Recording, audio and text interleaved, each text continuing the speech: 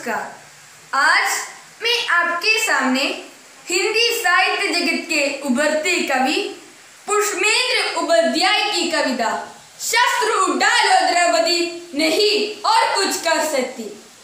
प्रस्तुत कविता में कवि ने स्त्रियों को मनोबल बढ़ाते हुए कहा है कि समय आ गए।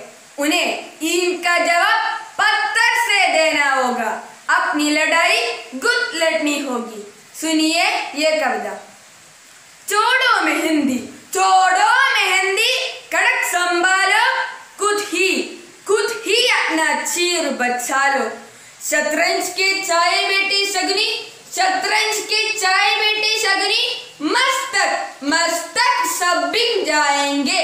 सुनो द्रौपदी सुनो द्रौपदी, शस्त्र उठा लो अब कृष्ण न आएँगे इस युग में इस युग में कृष्ण का इंतज़ार न करो द्रौपदी।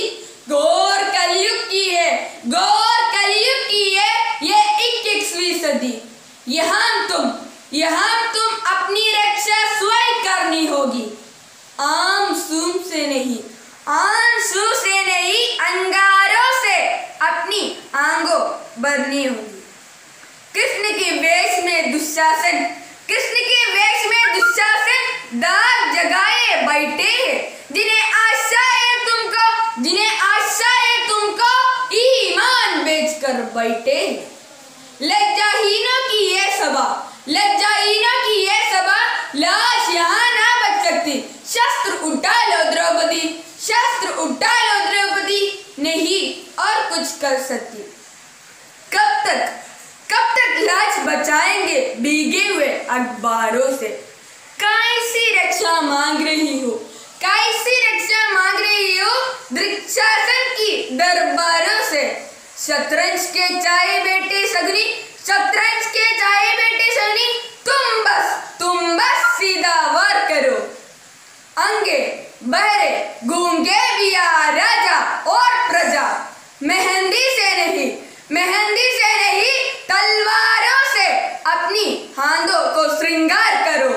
शतरंज के चाय बेटी सगनी, शतरंज के चाय बेटे सगनी तुम बस तुम बस सीधा वार करो अंगे बहरे कूँगे भी आ राजा और प्रजा तुमको ही देनी होगी तुमको ही देनी होगी अपराधी को गौर सजा कल तक केवल अंधा राजा कल तक केवल अंधा राजा अब बहरे और गूँगे भी है होनी सी है दिए जानता की होनी सी दिए जानता की कानों पर रुई भी।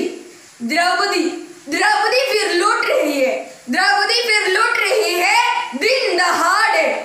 मान पांडव देख रही है, मान पांडव देख रही है, आंगो फटे। सुनो द्रौपदी सुनो द्रौपदी, शस्त्र उठा लो। अब कृष्ण न आएँगे। धन्यवाद।